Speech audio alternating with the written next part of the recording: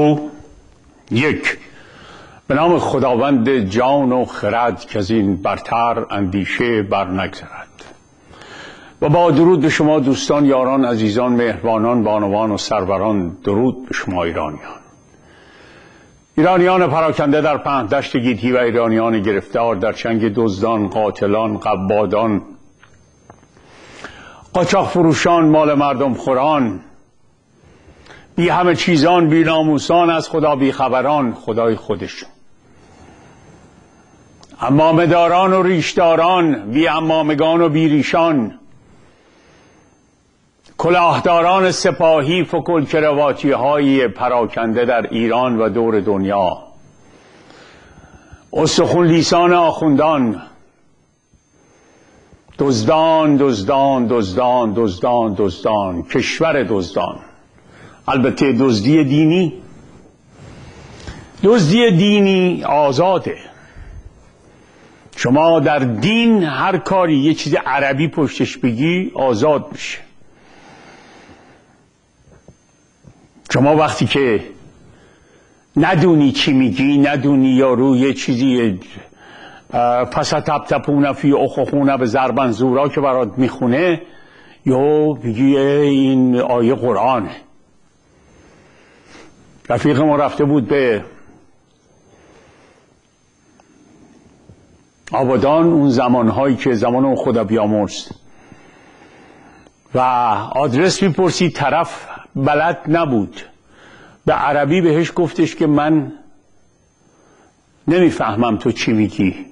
شروع کرد دعوا مرافع کردن و داد بیداد کردن و فوش دادن و کار به تو دکاری کشید بردنش به کلانتری.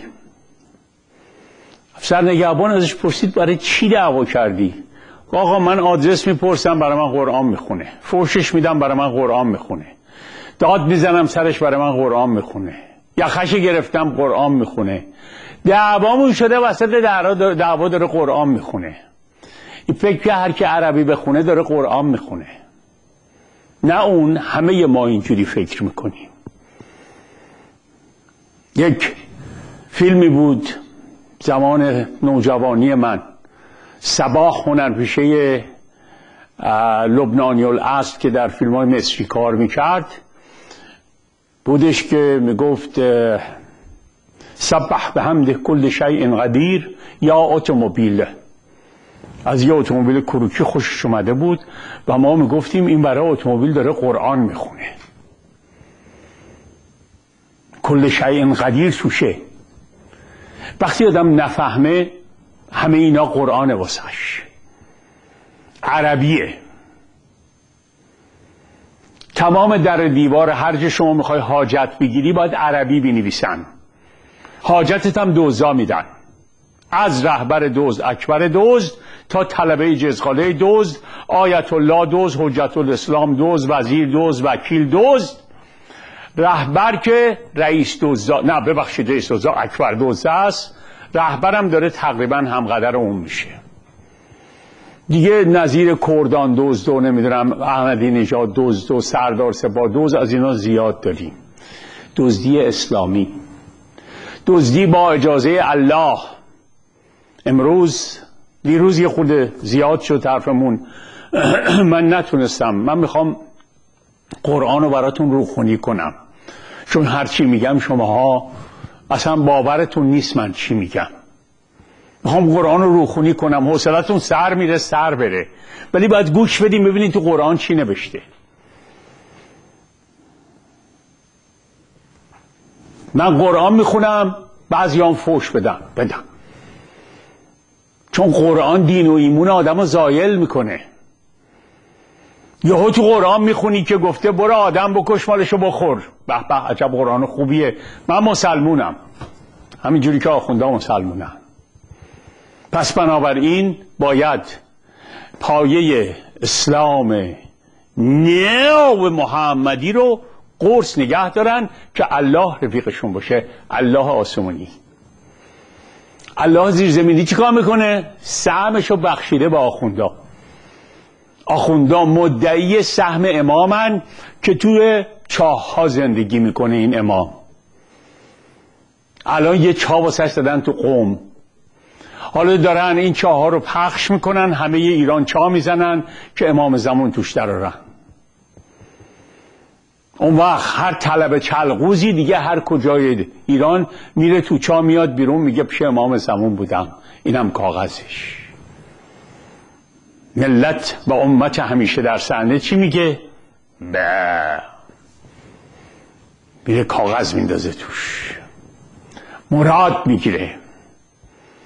به امام زمان میگه من برم بواسیرم عمل کنم یا نرم. یا امام زمان من ایدز گرفتم چیکار کنم؟ یا امام زمان جیره شیره منو بیشتر بفرست. امام زمان به درد همه کارا می‌خوره. فکر می‌کنی خدا به درد چه کاری می‌خوره؟ درود به شما ایرانیان. با هر تفکر سیاسی هر باور مذهبی و هر گویش به جز خیانتکاران به سرزمین و مردم ایران.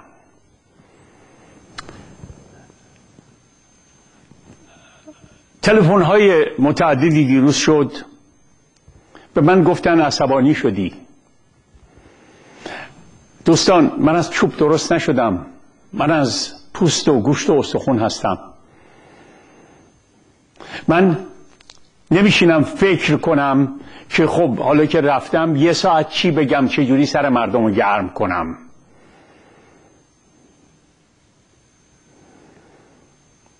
من رؤوس مطالبی که باید بگم یادداشت می‌کنم اینجا می‌نویسم میام این رأس مطلب رو نگاه می‌کنم بعد بر شما حرف می‌زنم.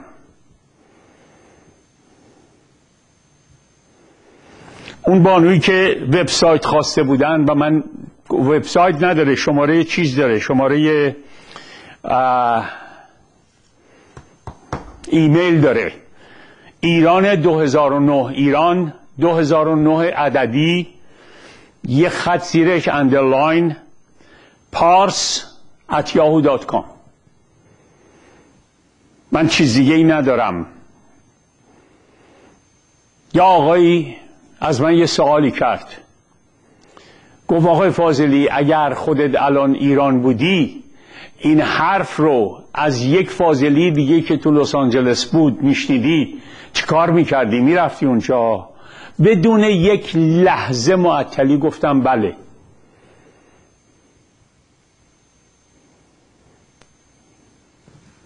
من اگه چیزی رو اعتقاد نداشته باشم خودم برای خودم هیچ وقت برای شماها نمی‌خوام.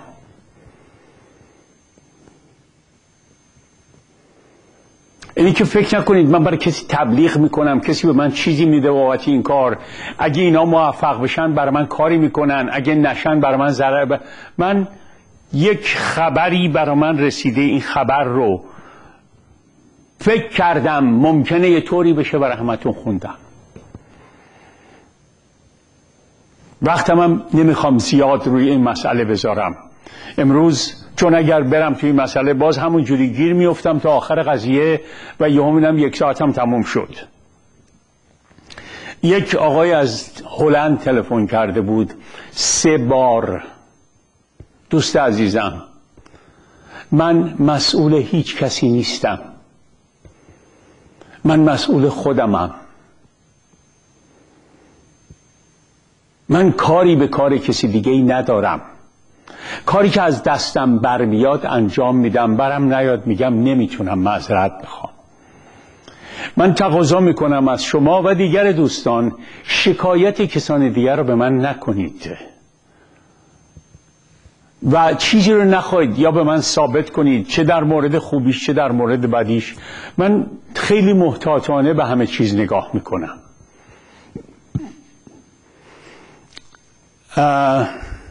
حتما ما گرفتاری داریم که سی سال سرگردونیم حتما ما یه عیبی داشت حکومت قبلیمون که سرنگون شد.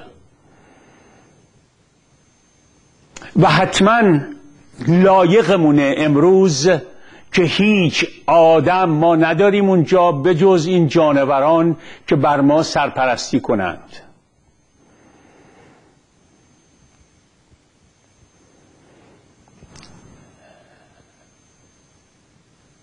یک گرفتاری هست. من اهل بدگویی از کسی نیستم. کاری ندارم. هر کسی راه خودش رو خودش انتخاب می‌کنه و میره. و من نمیگم اینی که من میگم درسته. همتون بیاید زیر پرچم من. مطلقا. من پرچمی ندارم اصلا. من خانده هامو با شما قسمت می‌کنم. بدون اینکه اصرار داشته باشم روش که حتما اینا درسته. بدون اینکه تعصب داشته باشم که اگه تو گفتی این تیکش مزخرفه من شکم تو جر بدم.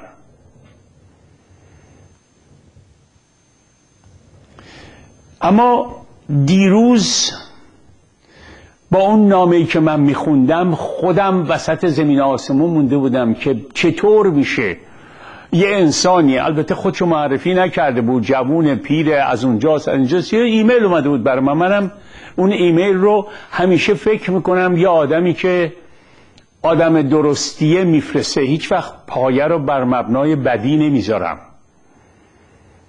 و نتیجتا از حرفهای اون واکنش های من رو شما دیدید. و الا نه عصبانیت بود نه دعو مرافع با کسی دارم نه هیچی.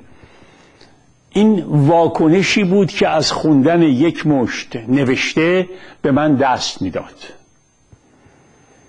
اگرم از کوره در رفتم حرف بدی زدم پوزش می‌خوام ولی فکر نمی کنم چون نشستم برنامه رو دیدم. فقط و فقط واکنش بود چیز دیگه ای نبود. خوشبختانه من هر وقت بخوام برنامه هم ببینم نزدیکترین راه رضا فاضلی dot com یا رضا فاضلی dot net ه روز یک شنبه بود با یا آقای صحبت می‌کردم. گفتش که ما برنامه شما را از روی TV می‌بینیم.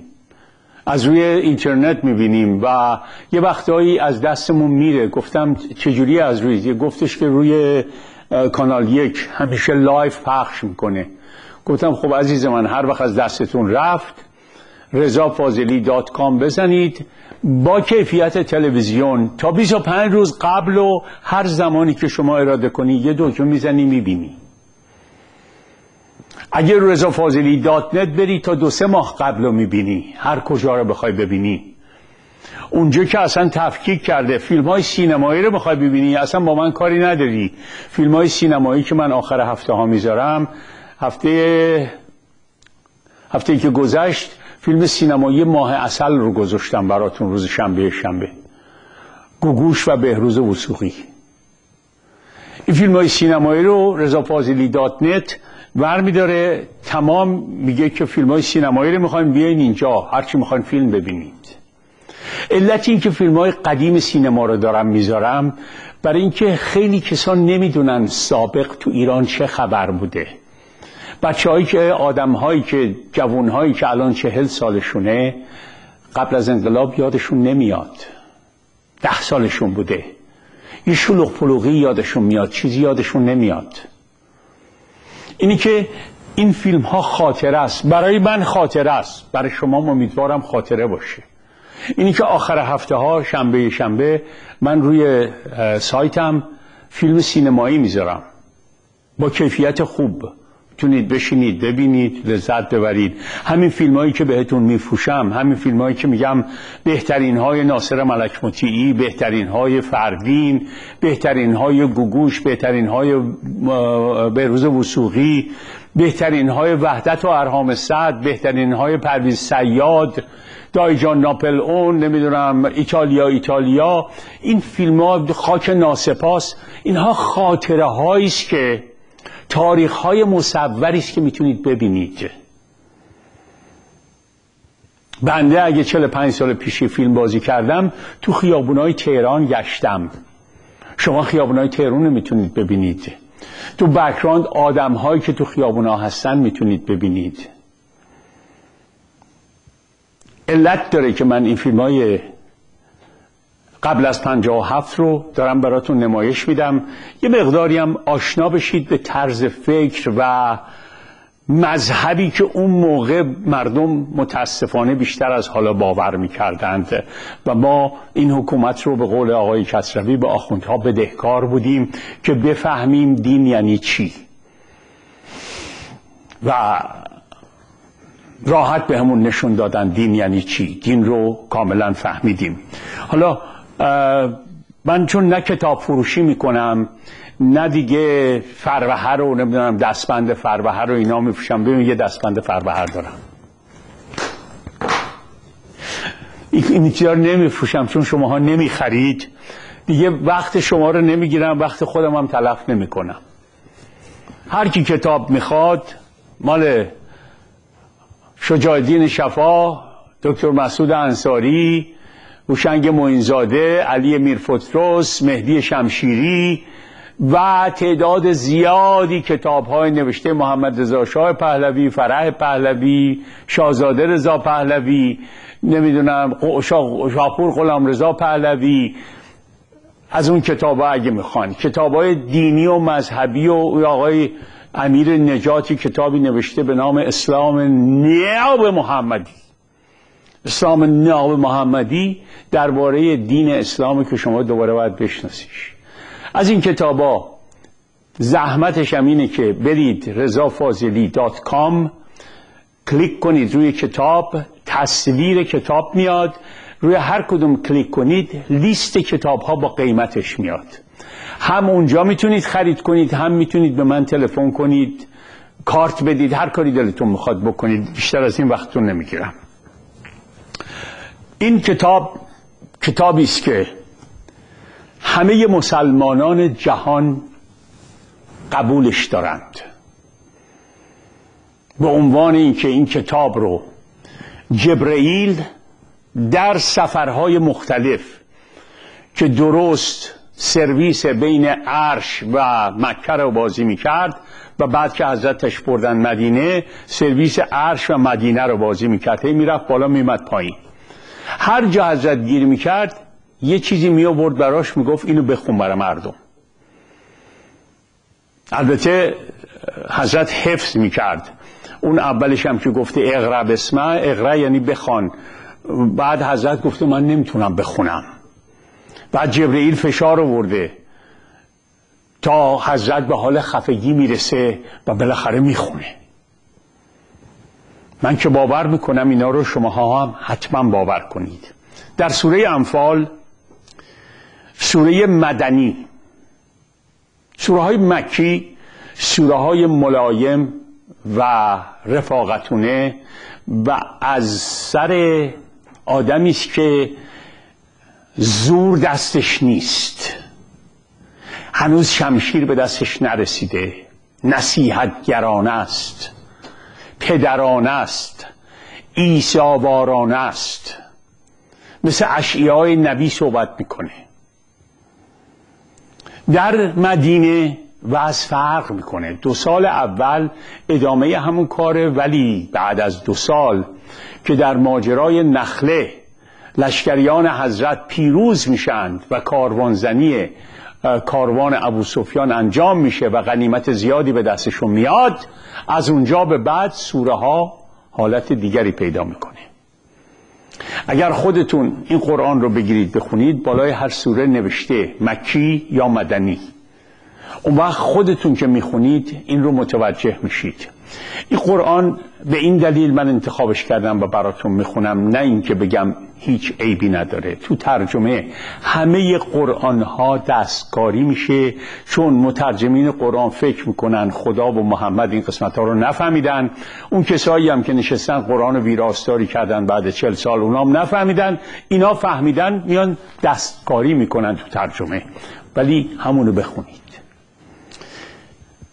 درباره انفال انفال که ما میگیم یعنی خب انفال چیه؟ عربیه. چی آقا معنیش چی میشه؟ یعنی قنائم جنگی. قنائم جنگی چیه؟ یعنی تو به یه جا حمله می‌کنی هرچی اونجا داره قارت می‌کنی میاری. اما اگه اسم گوشتن انفال دیگه قشنگه. اولین سوره میگه درباره انفال از تو سوال می‌کنن. بگو. انفال متعلق به خدا و رسول خداست. گفتم هر جا که حضرت چیزی گرفتنی میاد خدا و رسول خدا در یه صد قرار می‌گیرن. چون خدا که اونجا نیست بگیره پس رسول خدا می‌گیره. بنابراین از نافرمانی خدا بترسید.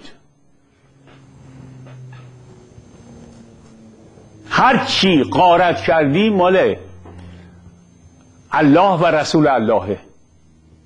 از نافرمانی خدا بترسید و کار خود را میان خیش اصلاح کنید و اگر افراد با ایمانی هستید از خدا و رسولش اطاعت کنید. سر پولاد دعواشون شده بوده.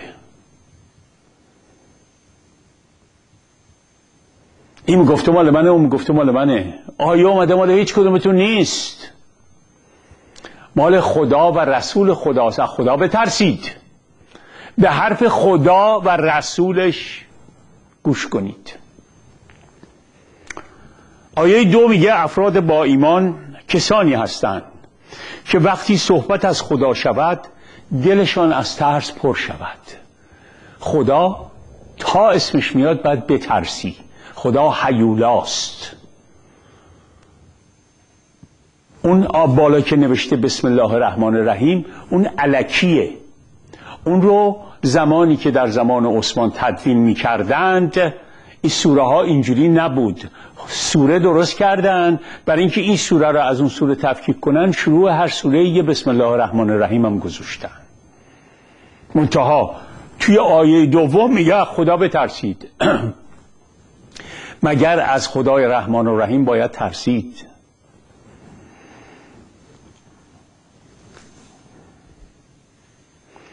وقتی آیاتش بر آنها خوانده شود ایمانشان اضافه می شود و بر خداوندشان توکل می کنند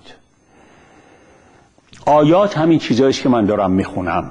باید بترسی و وقتی من دارم اینا رو می‌خونم شما باید ایمانت اضافه بشه و به خدا توکل کنی. بابت این حرفایی که تا اینجا من زدم. افرادی هستند که نماز را به پا میدارند و از آنچه روزی آنها کرده ایم انفاق می‌کنند. آدمایی هستند که همیشه نماز می‌خونن یا میرن مسجد درست می‌کنن که کسای دیگه نماز بخونن. اون چیزایی هم که ما ما بخشیدیم به اینا که اینا بخورن و ازشون خوب شده به مردم دیگه هم میدن. نه آیه قرآن دارم برات می‌خونم ها دلی دلی نیست. ساز آوازم توش نداره. تنبور و دف و این حرفام نداره. آیه قرآن به زبونی که من بفهمم و تو بفهمی؟ چنین افرادی مؤمنین واقعی هستند. مثل رفسنجانی هر چی گیرش میاد مثل این یارو چیز علی شیرهی هر چی گیرش میاد انفاق می‌کنه بین اون میده از پس و پیش. درجات و آمرزش و روزی ارزشمندی پیش خداوندشان دارند. تو نماز بخون و انفاق بکن تجاوزم می‌خوای بکنی بکن ولی درجات تو داری. همون دور که خداوند تو را به حق از خانهت خارج ساخت. حضرت از مکه فرار کرده. ولی ما میگیم هجرت کرده. حالا می‌خواد اون فرار و هجرت و همه اینا رو یکی کنه میگه همان گونه که خداوندت تو را به حق از خانهت خارج ساخت. یعنی خدا آمد دستتو گرفت گفت علی رو بخواب جای خودت چون اینا قراره بیان تو رو بکشن و تو رو میبرمت تو قار قایمت می‌کنم میبرمت همون قصه ها که شنیدید. عده از افراد با ایمان از این کار خوششان نمی آمد گفتن چرا فرار کردی آقا؟ جوابشونو داره میده.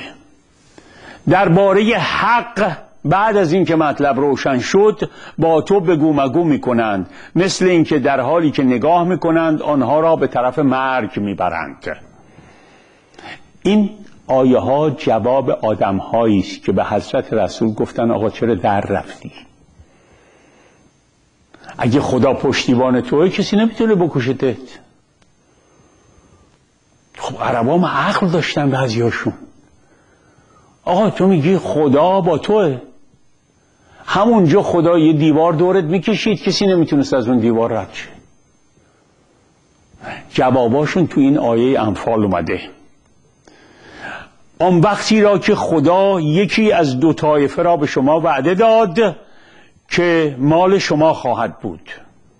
و شما مایل به طایفه بودید که بی سلاح و قدرت بود. خدا می‌خواست حق را با سخنان خود ثابت کند و دنباله افراد بی ایمان را قطع نماید. هر کدوم این رو من نمی‌فهمم میگم نمی‌فهمم. اگه شماها می‌فهمید بعد بر من بگید. نه شعن نزول آیات ها اونو بلدم. اون قصه ایش که برای اینا نوشتن. دنباله اینو قطع کنه دنباله اونو قطع کنه. این اینا سلاح ندارن اومدی پیش اوس و خزرجی ها که سلاح ندارن. اینا اینا که خب هر بچه ای قرآن رو بخونه می‌دونه. احتیاج به علم حدیث و علم امامت و علم نزول فلان نداره. اومدن علم تفسیر علم حدیث علم سنت علم شعن نزول همه اینا رو درست کردن که بگن قرآن درسته. اگه چیزی درسته این همه دیگه شر و تفصیل نمی‌خواد. ما هم قبولش کن برای اینکه حق را ثابت کند و باطل را از بین ببرد اگرچه گناهکاران خوششان نیاید. دعوای بین آدما بوده. قرآن مقدس. الله که صاحب این کهکشان هاست که بیلیون ها خورشید در این کهکشان هاست. همه جا رو ول کرده بوده. پشده بوده رفته. صاف سر مکه 1400 سال پیش نشسته ببینه عربا دعواشون سر چیه. براش هم فرق نمی‌کرده. تو همین دنیا تو چین چی میگذره؟ تو هند چی میگذره؟ تو امریکا جنوبی چی میگذره؟ اصلا براش فرق نمی‌کرده. مکه مثل موسا که رفت مصر قومش از اونجا کشید بیرون آورد. اینا اومدن گفتن ما یه الله داریم عین یهوه. اومده قوم و نجات بده. هر زبانی یه پیغمبر داره. منم پیغمبر شمام خدای شمام اللهه.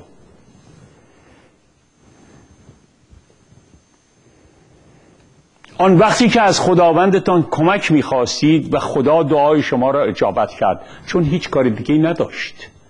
همه کارا انجام شده بود نشسته بود. ببینه این عربا 1400 سال پیش چی میگن؟ چون فقط زبون عربی هم می‌فهمه اونو اجابت کنه. و گفت من شما را با هزار فرشته پشت سر هم کمک می‌کنم. حالا به کی گفت من نمی‌دونم ولی تو قرآن نوشته باید قبول کرد. اگر حوصلتون سر میره تقصیر خودتونه. برای اینکه من به شما میگم قرآن بخونید و شما نمی‌خونید. من مجبورم قرآن رو برای شما بخونم. این سوره انفال اگه شده یه روز اگه شده دو روز اگه شده ده روز براتون می‌خونم که خودتون بفهمید توی قرآن چی نوشته. این یکیشه. خدا آن را فقط برای مژده دادن به شما. و برای اینکه دلتان به وسیله آن آرامش پیدا کند قرار داد. پیروزی فقط به دست خداست چون خدا قدرتمند و حکیم است. تا آیه ده سوره انفال براتون خوندم. خودتونم یه بار این رو با خودتون بخونید ببینید این حرفا که من می‌زنم راسته یا از خودم درست کردم می‌خونم. آن وقتی که برای امنیت خاطر شما این خدا چقدر مواظب اینا بوده چقدر میترسیده از اینا. از طرف خودش چرت را بر شما آرز کرد. چرت.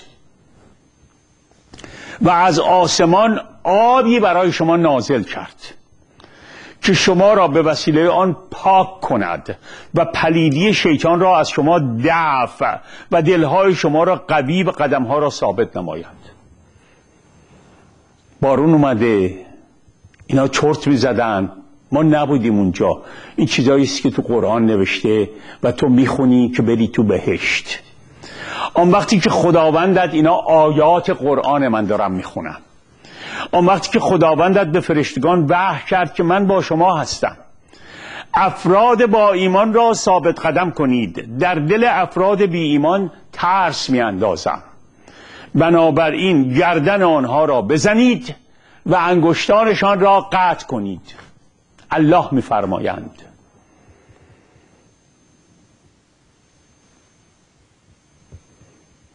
هر کی ایمان نداره گردنشو بزنید.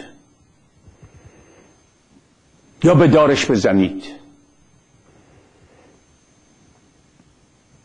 الله فرمودن آن وقتی که برای امنیت خاطر شما من خیلی مواظبم شما عربا تافته جدا بافته ایم در این دنیا در 1400 سال پیش از طرف خودش چرت را بر شما آرز کرد.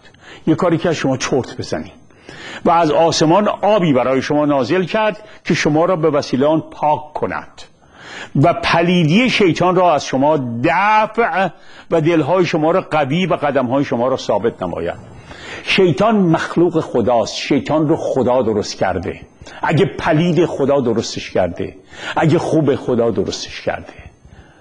در تمام طول تمام کتب آسمانی شیطان و خدا رفیق هم دیگه هستن. با هم شرط میبندن داستان ایوب رو بخونید. چه در قرآن چه در تورات. آن وقتی که خداوندت به فرشتگان وحی کرد که من با شما هستم افراد با ایمان را ثابت قدم کنید. حالا باز دوباره تکرار می‌کنه.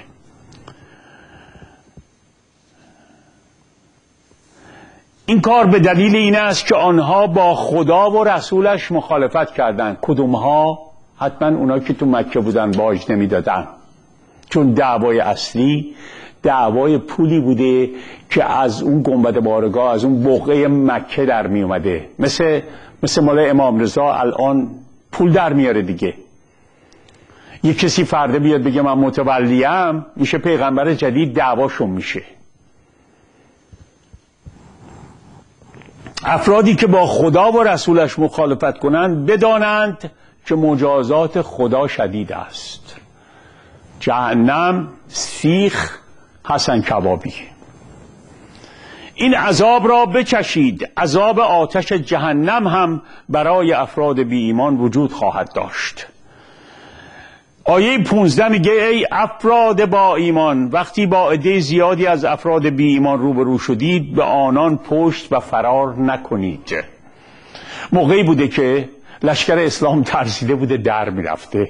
الله میاد میگه های پشت نکنین فرار نکنین. چرا؟ کسی که در آن روز به آنها پشت کند دچار غضب خدا شده. میگم این خدا همه کارا رو ول کرده بود. اومده بود دعوای مثلا 300 تا 500 تا عرب و اونجا نظارت می‌کرد ببین چی شده. خدای کهکشان ها اون قادر مطلق اون قدرتی که ما می‌دونیم چیه. از این حرفا زیاد به من می‌زنین شماها. و اون کسی که پشت کنه و فرار کنه جاش جهنمه. کسی که در آن روز با آنها پشت کند دچار غضب خدا شده و جای او جهنم است و جهنم بد جایی است. مگر اینکه برای حمله بعدی یا پیوستن به گروه دیگری به اونا پشت کرده باشید. اگه با استراتژی در رفته باشی اون وقت نمی‌برم جهنم اون وقت می‌برم توری خونه. اما اگه در رفتی بگی که من با اینا نمی جنگم اون وقت باید بری جهنم.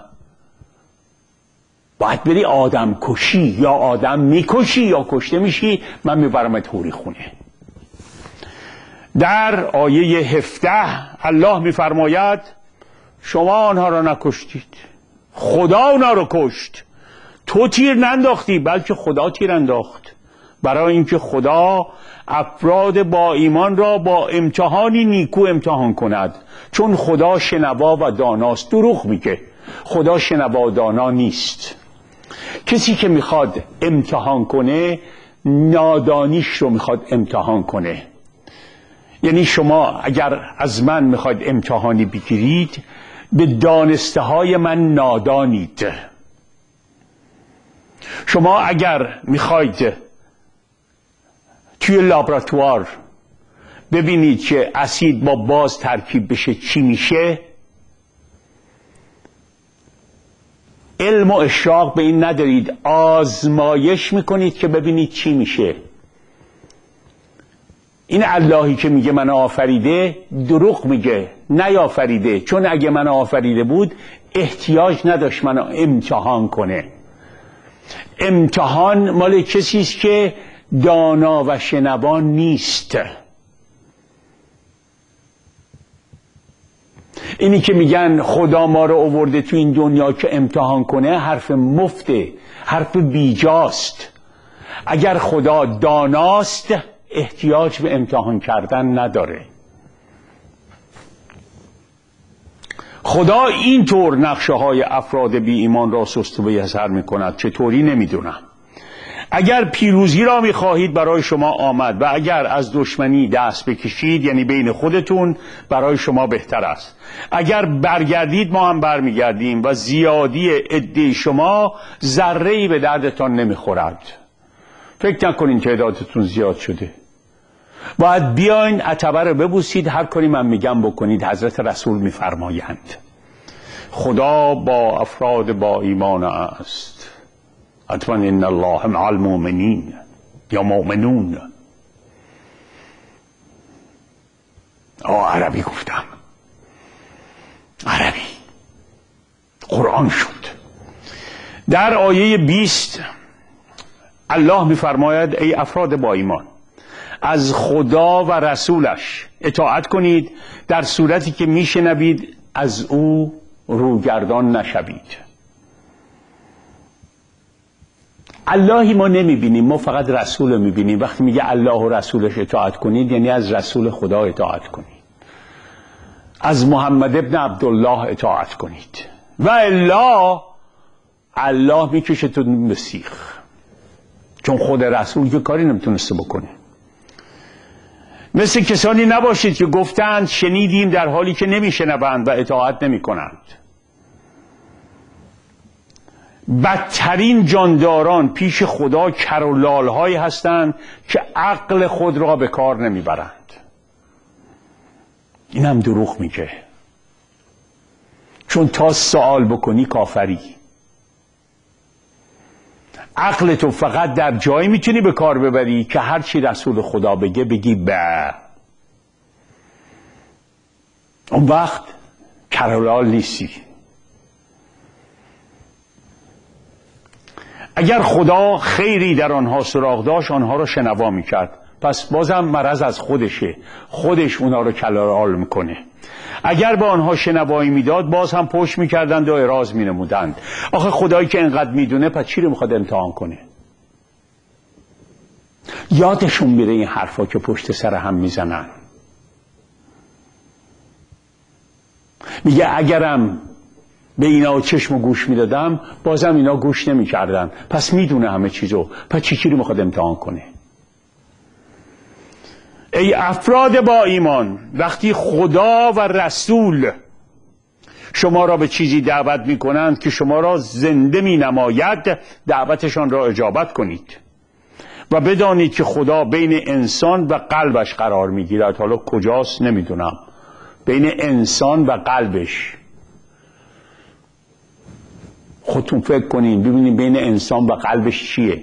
چون فکر می‌کردن اون زمانا عربا که همه چی تو قلب از مغز چیزی نمی‌دونستن. فکر کردن همه چی اینجاست نمی‌دونستن اینجا یه ماشینه. الله هم نمی‌دونسته. و بدانید که پیش او جمع می‌شوید. یعنی چی؟ یعنی روز قیامت اسرافیل در سورش میدمه همه میمیرن. دوباره در سورش میدمه همه زنده میشن. مثل این فیلم هایی که یه وقتایی نشون می‌دادن من یه فیلم هایی بود که همه مرده ها را می‌رفتن. بعد اینا همه باید برن به پیشگاه خداوند. حالا مثلا یه نفر از آرژانتین میاد یه نفر از ژاپن میاد یه نفر از چین میاد. مال صدها هزار سال صف و ببین از کجا تا کجا. مسئله دریاها چی میشه؟ چون نمی‌دونستن این چیزا رو. همه چیزا مربوط به همون دو تا شهر بوده مکه و مدینه. چیز دیگه عقلشون نمی‌رسیده بگن. این حرفایی که از جانب الله درست کردن تعبیل من تو دادن که سروش اومد گفتش که آقا اینا حرف خدا نمی‌تونه باشه. اصلا الله الله ساخته محمده. قرآن نوشته محمده. تا 1400 سال پیش الله کجا بود؟ خوابیده بود. یه مرتبه 1400 سال, سال پیش بیدار شد رفت تو مکه. آقا باجگیری مکه رو بدیم به من. ابو سفیان گفت نمیدم دعواش الله درست شد.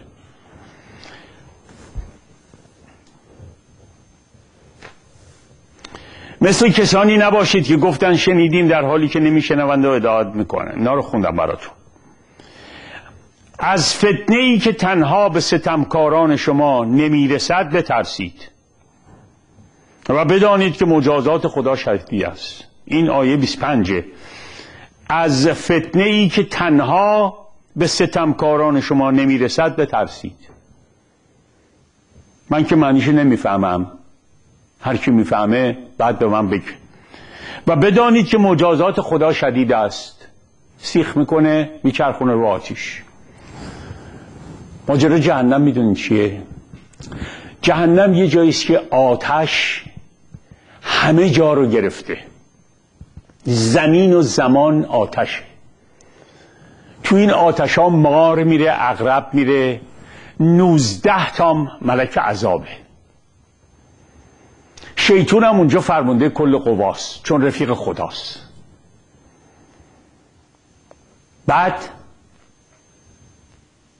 همه رو این 19 نفر همه این میلیارد ها نفر رو سیخ می‌کنن رو آتیش میچرخونن.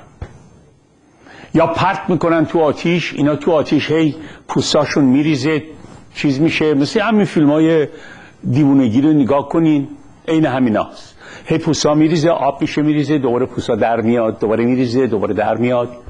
نمی‌دونم چشا حدقه قلپی می‌زنه بیرون گوشا از این میپره بیرون بعد دوباره میاد سر جاش. بعد یه لیوان آب جوش بهت میدم. وسط آتیشا. این لیوان آب جوشو تو شیشه نیست تو مثل داغه. قرد قرد قرد قرد قرد قرد سر می‌کشی می‌ذاری زمین. بعد وسط این آتیشا تای جهنم یه درختی اون طبقه هفتم جهنم. وسط این آتیش درخت عمل میاد. جل الخالق خدا هر کاری دلش بخواد می‌کنه. وسط آتیش درخت عمل آورده این درخت میوه داره. میوهش شبیه کله شیطونه. بعد تلخ هم هست. اسمش هست درخت زقوم. وقتی این آبر قرقر قرقر خوردی گشتت هم شده که دارن میپزن باید این از این میوه هم گاز بزن دوباره آب جوشه رو بخوری. دوباره چیزا همه آب بریزه دوباره پوستا در بیاد. دوباره آب جوش بخوری دوباره گاز بزن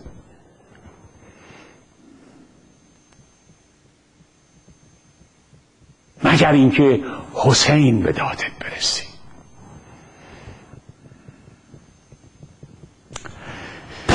به یزدان که در ما خرد داشتی. کجا این سرانجام بد داشتی؟ اظهار عقیده نمی کنم. وقتی را یادآوری کن که در زمین کم و ضعیف بودید. یعنی 150 تا مسلمان بود بعد 13 سال.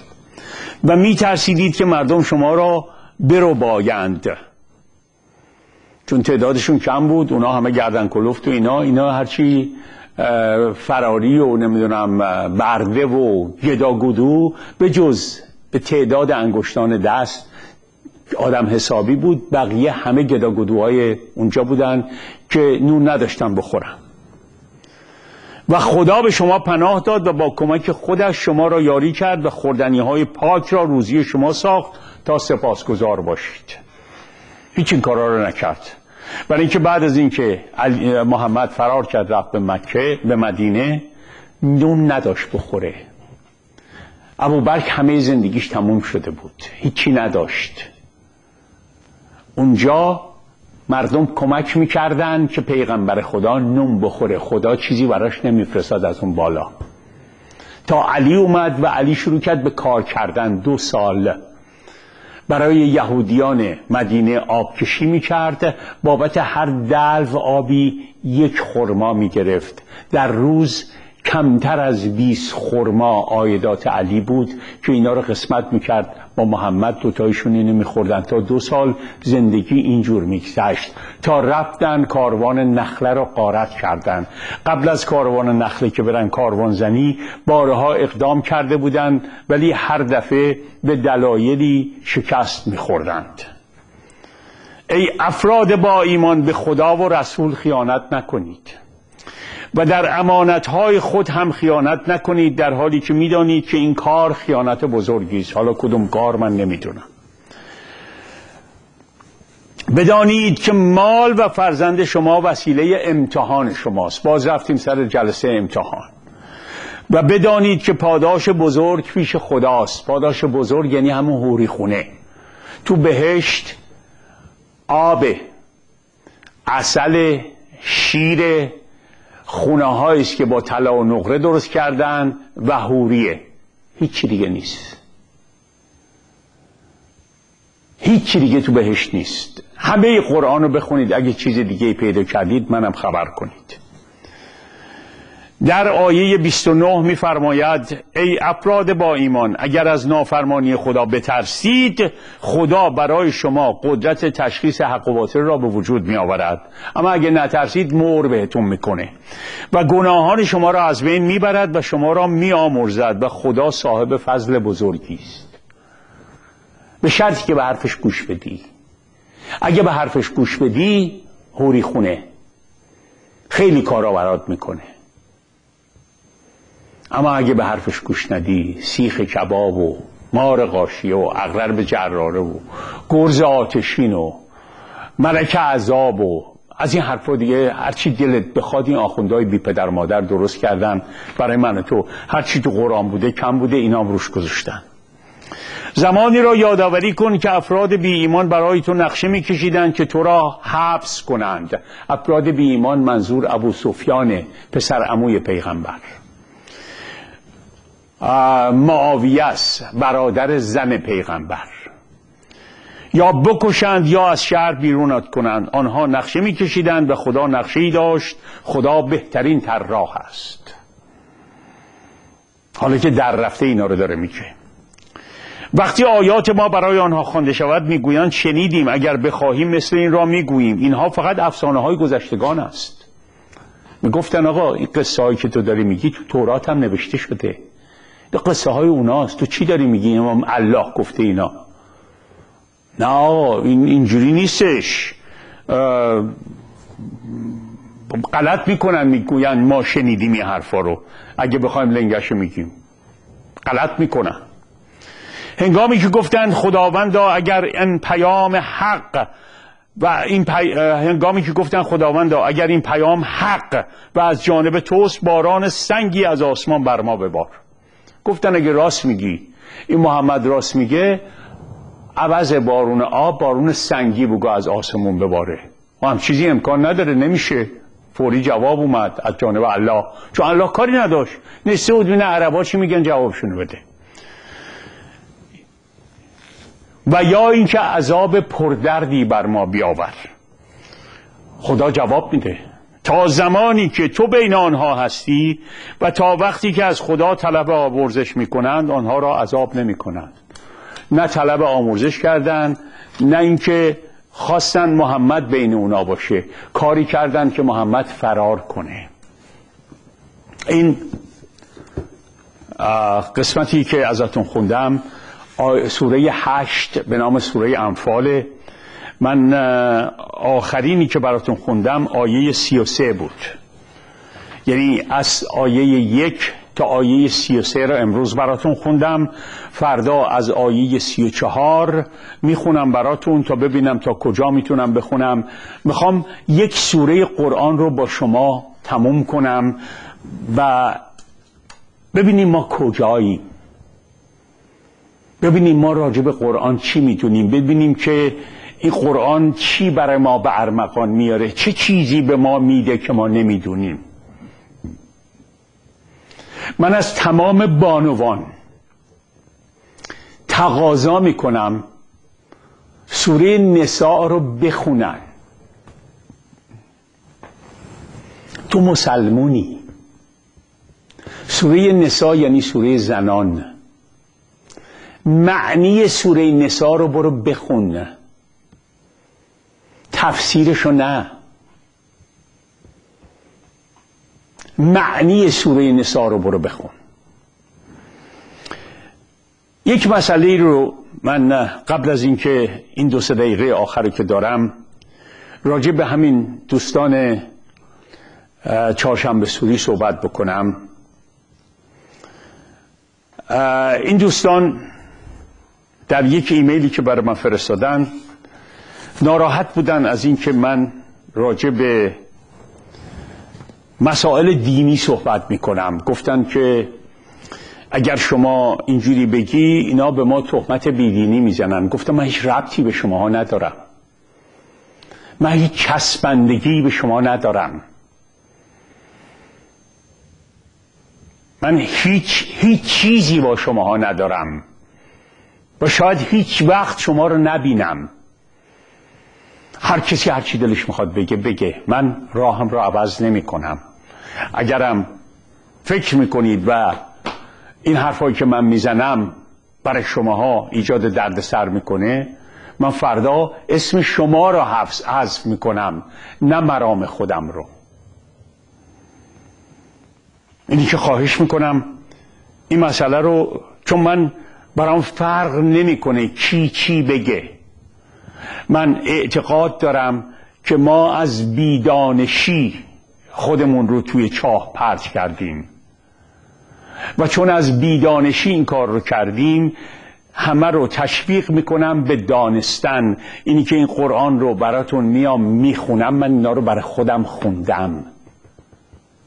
برای شما می‌خونم که شما تشویق بشید به خوندن قرآن. اگر تشویق شدید به خوندن قرآن و وقت میام این کتاب رو براتون می‌خونم. ملاحظاتی در تاریخ ایران که ببینید به نام این دین به نام قرآن به نام شریعت به نام محمد به نام الله چه بلایی سر پدران ما آوردند. و هنوز هم دارن میارن. من دست از راه خودم نمی‌کشم. اگر شما هنوز حاضرید با این حرف که من راجع به شما حرف بزنم؟ و حرفی ندارم. اگرم فکر می‌کنید که حرفایی که من می‌زنم برای شما درد سری داره اصلا گرفتاری با هم نداریم. من فکر کردم که شما کار سلامتی دارید می‌کنید. من می‌فهمم شما تو ایرانید و چی میگید. نه فکر نکنید من شما رو نمی‌فهمم. من شما رو می‌فهمم اما خودم عوض نمیشم.